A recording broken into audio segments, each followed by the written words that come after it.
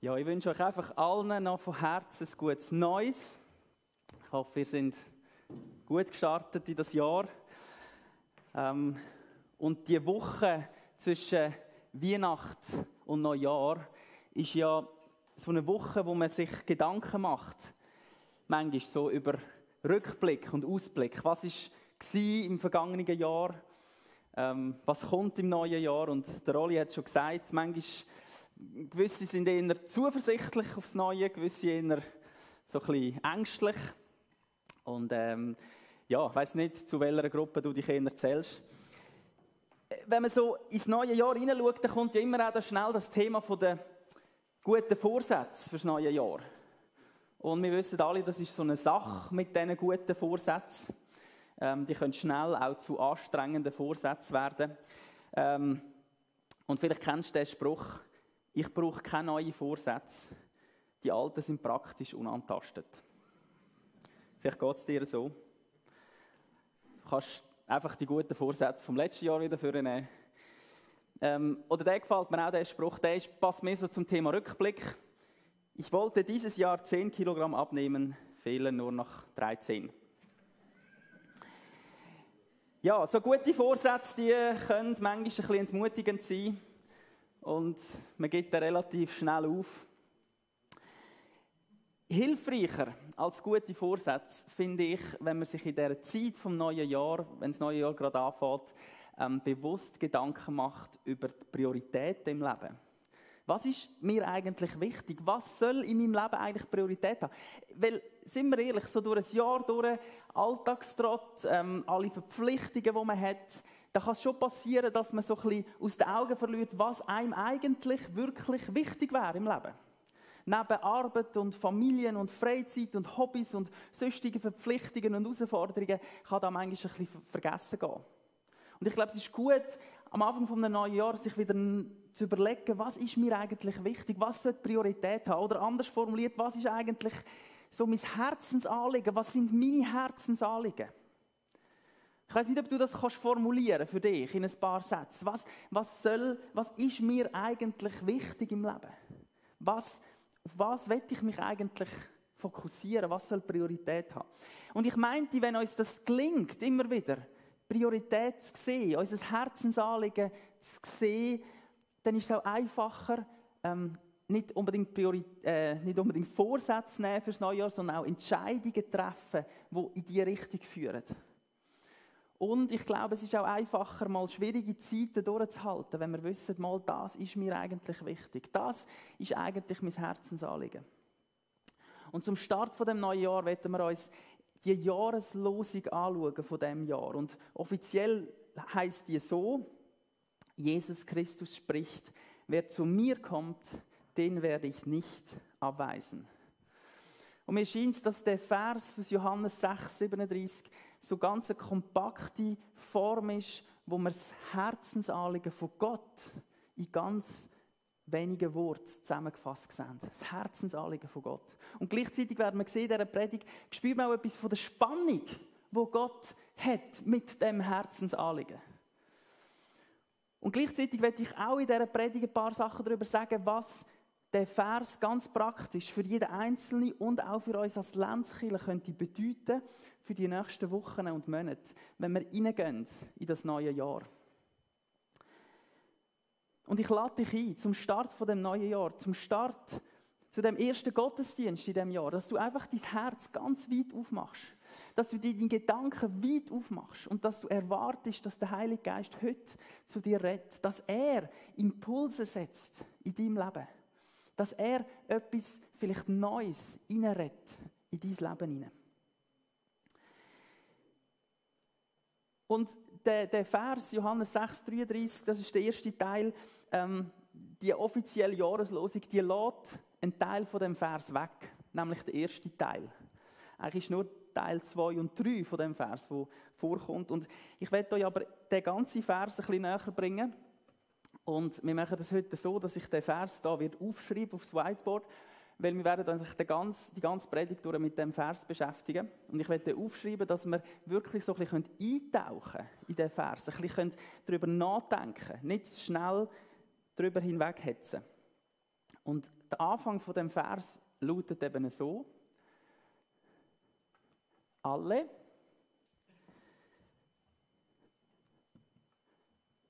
die der Vater mir gibt,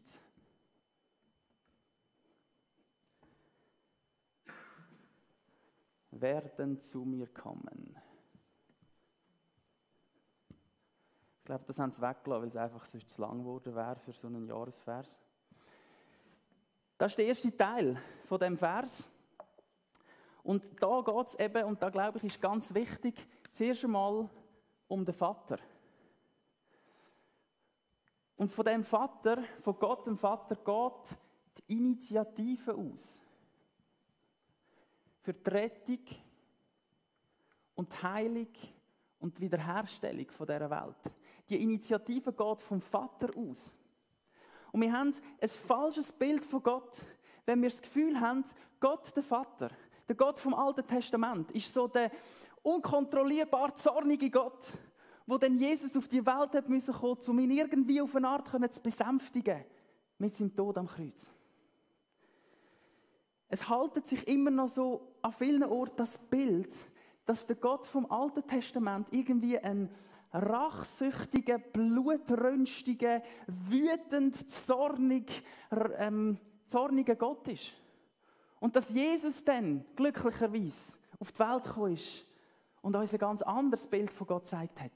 So wie wenn Gott denkt hat, ah, warte schnell, jetzt müssen wir irgendwie noch die Meinung über mich ändern, also komm, wir schicken Jesus. Aber das stimmt so überhaupt nicht. Es ist schon immer das Herzensanliegen von Gott, dass Menschen gerettet werden, dass Menschen geheilt werden, dass die Welt wiederhergestellt wird. Und das ist nicht nur seit Jesus das große Herzensanliegen von Gott. Das ist schon im Alten Testament so gewesen. Ich werde euch einfach ein paar Verse zeigen, zum zeigen, wie das schon im Alten Testament das Anliegen von Gott ist. Zum Beispiel Hesekiel 33,11. Doch ich, Gott, der Herr, schwöre, so wahr ich lebe, mir macht es keine Freude, wenn ein Gottloser sterben muss. Nein, ich freue mich, wenn er von seinen falschen Wegen umkehrt und am Leben bleibt. Es ist nie der Herzenswunsch von Gott, die Menschen zu bestrafen. Es ist nie, es hat, Gott hat nie Freude daran, wenn Menschen irgendwo gestraft werden oder verloren gehen. Das ist nie das Herzensanliegen von Gott. Oder sehr eindrücklich sehen wir auch im Prophet Hosea, Vers, ähm, Kapitel 11, Vers 8, heißt es, Ach, wie könnte ich dich im Stich lassen, Ephraim? Wie könnte ich dich aufgeben, Israel? Sollte ich dich vernichten wie die Städte Adma und Seboim? Nein, es bricht mir das Herz, sagt Gott. Nein, es bricht mir das Herz. Ich kann es nicht. Ich habe Mitleid mit dir. Da spüren wir etwas, wie Gott selber mit sich ringt. Weil er es nicht übers Herz bringt, Israel zu bestrafen.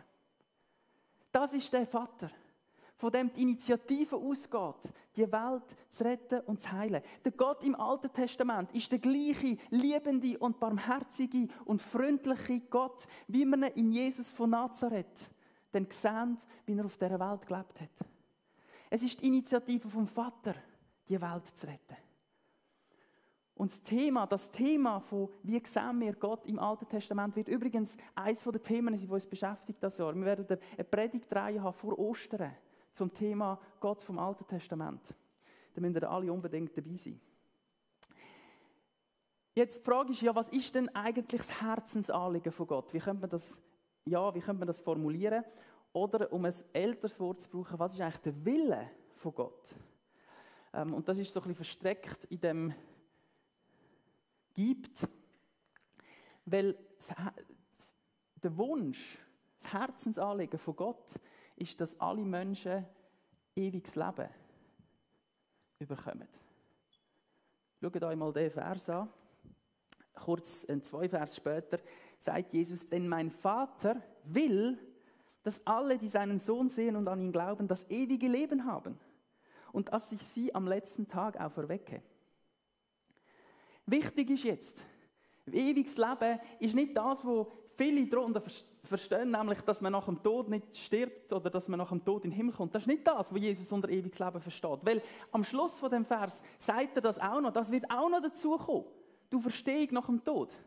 Ewiges Leben ist nicht etwas, wo mal nach dem Tod wird kommen, sondern ewiges Leben bezeichnet eine Qualität von Leben, wo jetzt, heute und da in dieser Welt schon möglich ist. Jesus wird uns eine neue Qualität von Leben schenken. Der Vater wird uns eine neue Qualität von Leben schenken. Ein Leben, wo, wo zumindest in der Unvollkommenheit von unserer Welt, zumindest in der Hoffnungslosigkeit von unserer Welt, uns ein Leben schenkt, das prägt ist von Freude, das prägt ist von innerem Frieden, das prägt ist von tiefer Hoffnung, von echter Liebe, von echter Barmherzigkeit. Das ist ewiges Leben, eine Qualität, die Gott uns schenken will. Eine neue Art von Leben.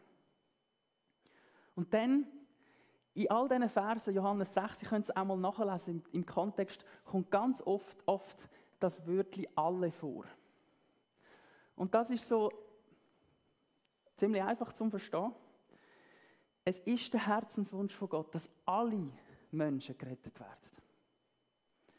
Gott will, dass alle Menschen ewiges Leben bekommen. Das ist sein Anliegen.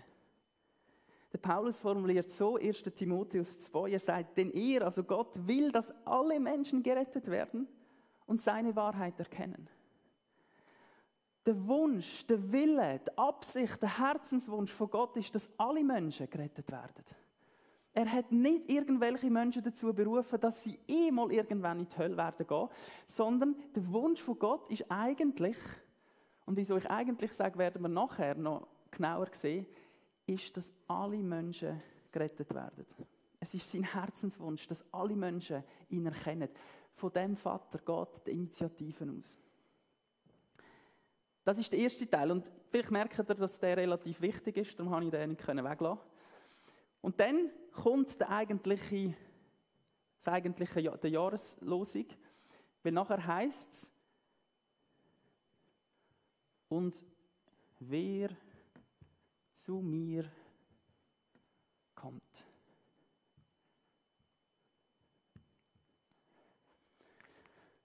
Und da geht es jetzt nach der Initiative eigentlich um eine Einladung. Was Jesus da ausspricht, ist eine Einladung. Und das ganze Leben von Jesus ist eine grosse Einladung an die Menschen. Die Leute haben sich angezogen gefühlt von Jesus.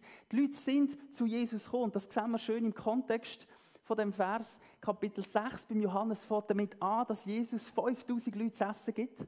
Und es zeigt etwas vom, vom Erbarmen, von der Barmherzigkeit, wo Jesus hat. Er hat gesehen, dass die Leute materielle, körperliche Nöte haben und hat sich um das gekümmert. Jesus hat nie sich nur einfach um die geistlichen Nöte der Leute gekümmert, er hat sich immer auch um die körperlichen, um die materiellen Nöte gekümmert. Er hat immer beides im Blick gehabt. Und gleichzeitig hat er die Leute eingeladen, auch weiter zu schauen. Sich nicht nur um die äußerlichen Sorgen zu drehen, sondern tiefer zu schauen. Was wir eben noch als Menschen auch für geistliche, für seelische ähm, Bedürfnisse haben. Das sehen wir schön, weil die Leute sind so begeistert von Jesus, dass, die, dass er Brot vermehren kann, dass sie kurze Zeit später wieder zu ihm gekommen sind und gesagt haben, komm, mach noch mehr von diesen Wundern, das ist so toll, oder? Dann müssen wir ja nicht mehr arbeiten und in Coop müssen wir auch nicht mehr, wenn du einfach gerade für uns das Essen parat hast, oder? Und dann sagt Jesus etwas Interessantes. Er weist sie eben darauf hin, dass es noch mehr geht. Er sagt, Statt euch nur um die vergängliche Nahrung zu kümmern, bemüht euch um die Nahrung, die Bestand hat und das ewige Leben bringt. Wieder, nicht das Leben nach dem Tod, sondern eine neue Qualität von Leben im Hüt und Jetzt. Diese Nahrung wird euch der Menschensohn geben, denn ihn hat Gott, der Vater, als seinen Bevollmächtigten bestätigt. Jesus wird ihnen klar machen, dass er nicht einfach der Wundertäter ist, nicht einfach der Weihnachtsmann ist, der da schenkt, wo man gerade braucht. Das macht er auch, aber er sagt, es geht noch um etwas mehr. Es geht noch darum, dass ihr eine tiefere Sehnsucht habt. Ein, ein, ein tieferes Loch in eurer Seele, das ich stoppen will, das ich, ich füllen will. Und schaut auch da an. Schaut da genauer an. Also das eine, Jesus wird aufmerksam machen in dieser Einladung, dass wir nicht nur, dass wir nicht nur äußerliche äh, Bedürfnisse haben, körperliche Bedürfnisse, sondern eben auch die, die seelischen, die geistlichen Bedürfnisse. Und gleichzeitig hat Jesus auch die Einladung ähm, einfach an alle Menschen ausgesprochen. Es sind ganz unterschiedliche Leute zu, uns, äh, zu ihm gekommen und das sieht man schön im Johannes, wenn man das so durchliest, die Begegnungen. Johannes 3 ist die Begegnung von Jesus mit dem Nikodemus, ein, ein gelehrter, ein hoch angesehener, ein top religiöser Mann, der zu Jesus kommt, wo die Einladung annimmt bis zu einem gewissen Grad. Dann Kapitel 4 ist die berühmte Begegnung von Jesus mit einer samaritanischen Frau am Brunnen. Die Frau ist alles andere als angesehen. Ähm, die ist moralisch kein großes Vorbild. Gewesen. Die hat x Männer gehabt, x Mal verheiratet und mit dem Mann, wo sie zusammen war, ist auch nicht, ihren, ist auch nicht verheiratet gewesen. Also ein ziemlich kompliziertes Leben. Und Jesus lädt sie ein, zu ihm zu kommen. Dann Kapitel 5 ist die Begegnung von Jesus mit einem chronisch kranken Mann. Seit Jahren krank, ähm, körperlich, eingeschränkt. Und Jesus begegnet auch ihn, lädt auch ihn ein. Also wir haben die ganze Bandbreite. Egal ob einflussreich und gelehrt und reich, ähm, egal ob ausgestoßen und verachtet, egal ob, ob krank, eingeschränkt, behindert, alle Menschen sind bei Jesus willkommen. Die Einladung, das gilt für alle, dass sie zu Jesus dürfen kommen. Und Jesus formuliert in dem Zusammenhang die Einladung mit einem von seinen berühmten Ich bin-Wort. Kurz vor, also zwei Vers vor der Jahreslosung heißt es, ich bin das Brot des Lebens. Wer zu mir kommt, wird nie wieder hungern. Wer an mich glaubt, wird nie wieder Durst haben. Und Jesus macht da einen konkreten, er macht einen Vergleich. Er sagt, so konkret wie wir Hunger haben und das Bedürfnis haben zu essen, so konkret wir Durst haben und das Bedürfnis müssen stillen. So konkret haben wir auch eine Sehnsucht in uns, in unserer Seele, wo nicht einfach kann gestillt werden mit dem nächsten Erfolg, mit dem nächsten Bonus, mit dem nächsten Monatslohn, mit den nächsten Ferien, sondern eine Sehnsucht in uns, sagt Jesus, wo so real ist wie Hunger und Durst, wo aber nur bei mir kann gestillt werden. Und etwas ist da auch noch ganz wichtig. Jesus sagt, wer zu mir kommt. Die Einladung von Jesus ist nicht primär eine Einladung zu irgendwelchen Glaubenssätzen, wo wir abhökeln und sagen, so, ja, das sehe ich gleich. Die Einladung zu Jesus ist nicht einmal primär eine Einladung in eine Kirche, obwohl ich das auch wichtig finde. Es ist primär eine Einladung zu einer Person, zu Jesus selber der sagt, kommt zu mir. Jesus lädt dich ein. Nicht der Pastor, nicht die Lenzkille. Jesus lädt dich ein und sagt, komm zu mir, wenn du Hunger hast, wenn du Durst hast. Wenn du merkst, dass das letzte Jahr dich wahnsinnig müde gemacht hat. Wenn du merkst, dass das nächste Jahr dir wahnsinnig viel Angst einjagt. Jesus sagt, komm zu mir. Ich lade dich ein. Und dann haben wir uns überlegt, ja, wie wollen wir das als Lenzkiller irgendwo gerade am Anfang von dem Jahr, wie wollen wir die Einladung konkret leben?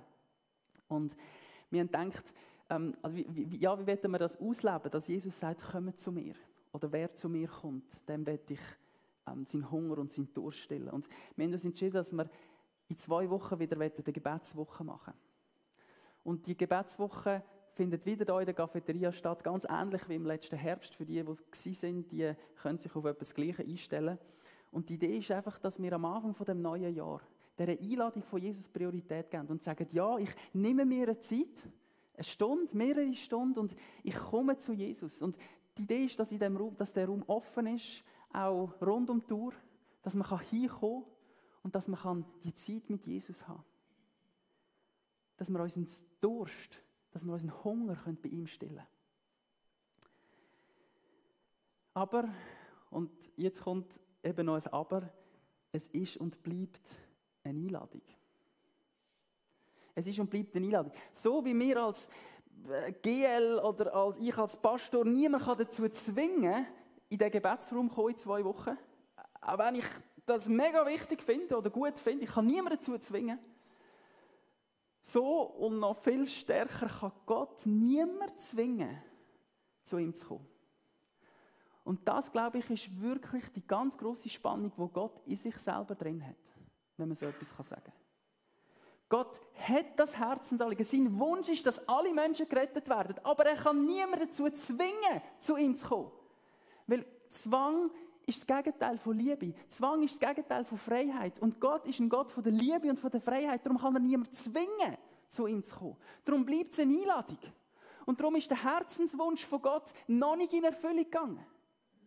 Weil er niemanden dazu zwingen kann. Gott, der Vater, wird nie jemanden zu Jesus hinprügeln. Jesus wird nie jemanden zu sich hinreißen. Gott wird dich nie zu deinem Glück zwingen. Es ist eine Einladung, wo wir immer wieder sagen müssen, ja, ich will, ich komme gern zu dir, Jesus.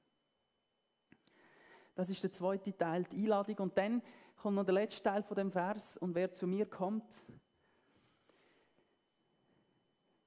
den werde ich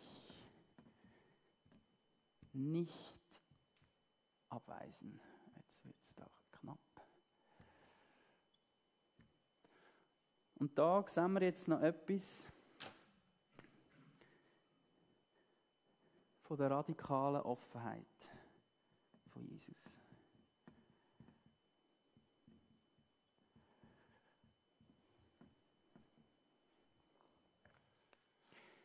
Die Einladung von Jesus ist nicht an irgendwelche Hintergedanken gebunden. Es gibt keine versteckten Anforderungen. Es ist nicht so, ah, das ist eine Einladung, aber also wenn, wenn ihr dann kommt, müsst ihr dann also schon noch das, das und das mitbringen, das, das ist die Voraussetzung, sondern die Einladung von Jesus hat keine Voraussetzung, hat keine Anforderungen. Wir müssen nicht ein besonders schlechtes Gewissen haben, um zu Jesus zu kommen. Wir müssen auch nicht ein besonders gutes Leben haben, um zu Jesus zu kommen. Wir müssen auch nicht irgendwelche religiöse Anforderungen erfüllen. Wir müssen auch nicht irgendwo irgendetwas erledigt und gemacht haben, um zu Jesus zu kommen. Jesus hat eine radikale Offenheit für uns alle. Jeder ist bei Jesus willkommen. Und was interessant ist, im Griechischen, das Wörtchen nicht ist eigentlich verstärkt. Also eigentlich ist es sehr nicht, aber das kann man ja so nicht sagen. Auf Deutsch müsste man eigentlich sagen, nie und nimmer oder keinesfalls, um es noch verstärken. Also Jesus sagt, wer zu mir kommt, der werde ich nie und nimmer, werde ich keinesfalls abweisen. Und dann ist auch noch interessant, was da mit dem Abweisen gemeint ist. Ähm, man kann es auch wörtlich übersetzen mit hinausweisen, also es hat wie eine Richtung, rausweisen, aus etwas raus. Und man hat sich überlegt, was hat Jesus da gemeint? Ein guter Hinweis, ist, habe ich in den Kommentar gelesen, ist, dass Jesus, ähm, in Johannes ist ein anderes wichtiges Bild von Jesus, ist, ist der Hirt mit seinen Schafen. Das kommt immer wieder vor. Also Jesus scheint da zu sagen, es gibt kein Schaf, das ich aus meiner Herde rausweisen. Es gibt kein Schaf, das bei mir nicht willkommen ist. Ich als guter Hirt nehme alle Schafe auf, egal wie sie sind und wie sie aussehen. Und ich werde kein Schaf rausweisen. Und die Herausforderung ist natürlich da, dass die Herde auch immer ein Bild ist für die Gemeinde von Jesus. Und jetzt wird es noch ein bisschen herausfordernd. Weil in Theorie würden wir wahrscheinlich alle, würden alle Christen sagen, ja natürlich, bei Jesus sind alle Menschen willkommen. Egal von wo und welchen Hintergrund sie mitbringen, alle Menschen sind bei Jesus willkommen. Aber vielleicht die herausfordernde Frage ist, ist denn in der Herde von Jesus, in der Gemeinde von Jesus, sind denn da alle Menschen willkommen? Können wir von Herzen sagen, alle, die zu Jesus kommen, die tun auch mehr nicht abweisen. Bei Jesus sind die Ausländer und die Einheimischen willkommen gewesen. Bei Jesus sind die Menschen mit guter Ausbildung und mit schlechterer Ausbildung willkommen gewesen. Bei Jesus sind die homosexuell Empfindenden willkommen und es sind die heterosexuell Empfindenden willkommen. Bei Jesus sind Singles willkommen und es sind die Verheirateten willkommen und es sind die Geschiedenen willkommen. Bei Jesus sind die Armen willkommen, bei Jesus sind die Reichen willkommen. Und die Frage ist, sind die bei uns auch alle willkommen? Sind die bei uns in der Lenzkirche auch alle willkommen? Die Gefahr ist ein bisschen, dass man als Kille so ein gewisses, relativ kleines Segment der Gesellschaft abdeckt. Und die Leute in einer Kille sich alle ein bisschen gleichen. Also ich meine jetzt nicht äußerlich so. Aber gleich so ein bisschen von der Herkunft und so ein bisschen Status und so weiter. Und natürlich wird es nicht möglich sein, eine Kille zu haben, wo man alle Subkulturen, die es irgendwie gibt auf dieser Welt, kann abdecken kann. ist mir absolut klar. Eine Kille hat immer etwas mit dem Ort und mit den Leuten, hat immer, immer eine gewisse Gruppe. Ist es, ist immer eine gewisse Gruppe. Darum gibt es auch verschiedene Kirchen. Darum finde ich es gut, dass es verschiedene Kirchen gibt. Aber es sollte ja unser Anliegen sein, dass wir die große Offenheit von Jesus in unserem Leben und in unserer Kirche widerspiegeln. Wir sollten uns darum bemühen, dass die klassischen Grenzen von, von Rasse, äh, von Geschlecht, von Herkunft, von sozialem Status, von was auch immer wir für Grenzen machen, dass die in der Kirche keine Rolle spielen. Und dass wir so die Offenheit von Jesus können abbilden können. Und etwas Kleines, was wir in diese Richtung tun in diesem Frühling als Lenzkille, ist ein Versuch. Wir wollen nämlich, dass noch viele Leute den Jesus kennenlernen, der sagt, und wer zu mir kommt, den werde ich nicht abweisen.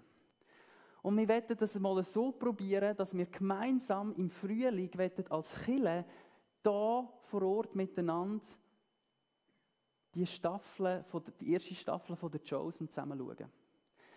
Ich weiß nicht, wer die Serie schon geschaut hat, aber mich hat die unglaublich berührt. Weil mir scheint, dass, die, dass sie es fertigbringen in dieser Serie, Jesus so darzustellen, wie ich mir das vorstelle. Nämlich Jesus, der wirklich sagt, und wer zu mir kommt, der werde ich nicht abweisen. Es ist eine faszinierende Geschichte von ganz vielen Menschen, die Jesus kennenlernen und mit ihm einen Weg gehen. Und wo erleben, dass Jesus sie nicht abweist. Und ich wünschte mir, dass wir das für uns wieder ganz neu erleben, aber dass wir auch Leute in unserem Umfeld können einladen dazu, das mit uns zusammen zu entdecken. Und ähm, damit wir ein bisschen wissen, von was wir reden, schauen wir uns den Trailer an von dieser Serie. Das muss ich allen erzählen. Das hatte ich gehofft. Mein Sohn, Sie haben keinen Wein mehr. Mutter, meine Zeit ist noch nicht gekommen. Wenn nicht jetzt, wann dann?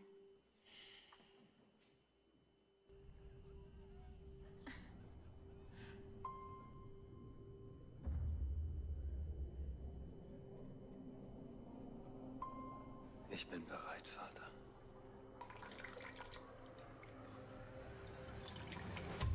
Es hat begonnen. Was denn?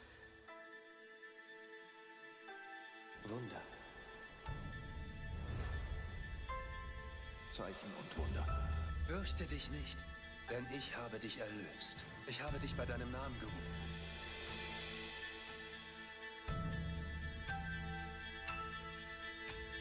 An dir ist ein, ein Wunder geschehen, Maria. Ich habe ihn gesehen. Es war unglaublich. Andreas. Vater unser, Vater unser, der du bist im Himmel. der du bist im Himmel, Geheiligt werde dein Name. geheiligt werde dein Name. Der Mann hat Anhänger.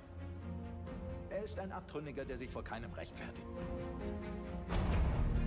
Du hast mich mal gefragt, ob ich seinen Namen kenne. Nun kennt jeder seinen Namen. Und ich fürchte um seine Sicherheit. Benutzt beim nächsten Versuch dieses Netz. Glaubst du, dass unmögliche Dinge passieren können? dass die Naturgesetze außer Kraft gesetzt werden können? dass etwas nicht erklärt werden kann?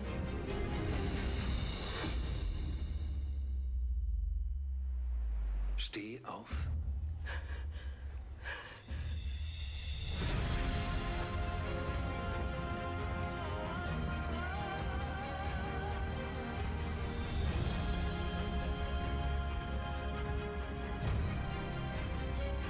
Matthäus, Sohn des Alpheus.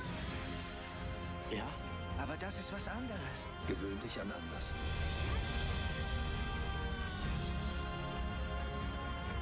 Mein ganzes Leben habe ich mich gefragt, ob ich diesen Tag erleben würde.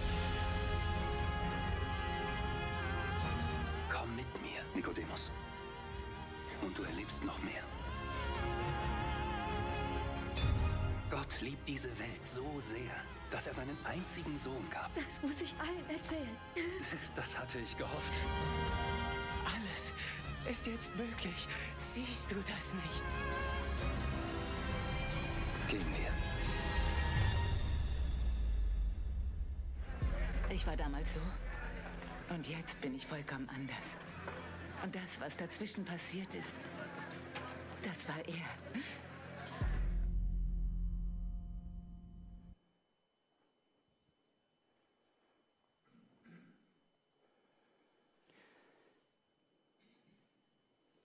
Wir werden es so machen, ähm, ab Ende Februar, dass wir sieben Dienstag oben miteinander hier zusammenkommen, dass wir miteinander so eine Folge schauen ähm, von dieser ersten Staffel und dass wir dann miteinander ins Gespräch kommen. Und ich will, ich dich einladen. Ich will alle von der Lenzkirche herzlich einladen, dass wir uns auf, auf so eine Reise begeben mit Jesus. Aber ich will, dass wir uns überlegen, ob wir die Einladung können auch ausweiten können. Und sagen, wer könnte ich mitnehmen auf so eine Reise? Wer könnte ich einladen, um zusammen das nicht nur anzuschauen, sondern zu erleben und etwas zu spüren von dem, was Jesus, wenn Jesus sagt, und wer zu mir kommt, der werde ich nicht abweisen. Und ich habe so ein Anliegen, ich wünsche mir so, dass wir in ein Jahr hineingehen, wo wir uns nicht aufhalten von irgendetwas, sondern dass wir die gute Nachricht, dass wir die Geschichte von Jesus austragen, dass wir Leute einladen, so wie Jesus Leute eingeladen hat, so wie Jesus Leute angezogen hat. Dass wir als Einzelne, dass wir als Killer einladend und anziehend werden und eine Offenheit haben für alle Menschen. Ich werde zum Schluss kommen und ähm, nochmal zurückgreifen auf den Anfang, wo ich gesagt habe, da mit den guten Vorsätzen, das ist manchmal ein bisschen entmutigend, oder? 10 Kilo will ich abnehmen, jetzt sind es noch 13. Ähm, und ich werde dich einladen, gerade jetzt in diesem Moment nicht so sehr über deine Vorsätze nachzudenken, sondern mehr über deine Prioritäten. Was soll in diesem neuen Jahr wieder Priorität bekommen? Und ich, ich lade dich ein, dass der Vers, wo Jesus sagt, wer zu mir kommt, den werde ich nicht anweisen, dass wir den wieder zu einer Priorität machen. Dass wir den für das Jahr zu unserer Priorität machen. Und für mich jetzt einfach da drin zwei konkrete Fragen, die ich dir mitgeben will wo du dir jetzt dann kannst überlegen in dieser Zeit vom Lobpreis. Es hat auch hinten so grüne Kärtchen, wo du kannst mitnehmen und auch etwas aufschreiben. Und die erste Frage ist, wie nimmst du die Einladung von Jesus an? Wie machst du das wieder zu einer Priorität, dass du dich zu Jesus hinbegibst, dass du die Einladung von ihm annimmst? Und die relativ einfache Antwort ist, es braucht Zeit für das. Überleg dir wieder neu, wie du dir Zeit nehmen für die Beziehung zu Jesus. Reservier dir Zeit im Gebetsraum. Kannst du dich draussen eintragen oder online. Ähm, nimm dir Zeit für, für den Gottesdienst am Sonntagmorgen. Mach das zu einer Priorität. Nimm dir Zeit in deinem Alltag für Jesus. Mach das zu einer Priorität. Das ist die erste Frage. Wie nimmst du die Einladung an in dem neuen Jahr? Wie machst du Jesus für dich zu einer Priorität? Und die zweite Frage ist nochmal, wer, wer, wem könntest du helfen, den Weg mit Jesus zu entdecken? Wer leitet dir vielleicht den Heiligen Geist heute aufs Herz? Und fang an für die Person beten. Fang an für die Person beten, dass der Heilige Geist sie vorbereitet, sie offen und interessiert macht, dass du die Person vielleicht kannst einladen also Chosen Serie üben. Wo wir zusammen können anfangen entdecken, wer der Jesus ist und ganz einen neuen Blick bekommen auf Jesus. Die zwei Fragen wird er mitgeben für die Zeit. Es hat Nachher im Lobpreis kann man auch hindern gehen. Es hat eben diese zwei Tischchen, wo man kann Jahres, persönliche Jahreslosungen ziehen kann. Man kann äh, Einladungen mitnehmen für den Chosen. Man kann äh, so grüne Zettel nehmen, wo man auch etwas notieren kann. Nehmt die Zeit auch, um, um auf Gott zu hören und von ihm auch noch ähm, einfach Impulse überzukommen. Ich werde noch beten. Jesus, ich danke dir, dass du der bist, der die Einladung ausspricht. Ich danke dir für den, für den Vers, für die Losung, die über dem Jahr steht. Danke, dass du sagst, wer zu mir kommt, der wird dich nicht abweisen. Und ich bitte dich jetzt für alle, die gerade zulassen, die vielleicht Mühe haben, zu dir zu kommen. Du du sie einwickeln in deine Liebe, in deine Barmherzigkeit, in deinen Trost. Und Jesus, ich bitte dich auch, dass du ganz neu uns zeigst, was es bedeutet, ähm, ja, dich zur Priorität machen, dich, uns Zeit nehmen für dich. Und zeig uns auch, wer, wer das du in unserem Umfeld ähm, siehst oder wer das wir sollen sehen, wo wir könnten vielleicht einladen auf diesen Weg, auf die Einladung zu dir. Ich bitte dich, Jesus, dass du ja, in das, in das Jahr hinein, wo, wo vor uns steht, dass du uns Zuversicht und Hoffnung gibst. Und dass wir ganz neu mit dieser, ja, mit dieser Einladung von dir in unser Umfeld gehen. Und so wie du eingeladen hast, dass auch wir einladen. Dass noch viele Leute dich kennenlernen Und Vater, dass dein Wille geschehen dass die ganze Welt, dass alle Menschen dich kennenlernen Das wünschen wir uns von Herzen.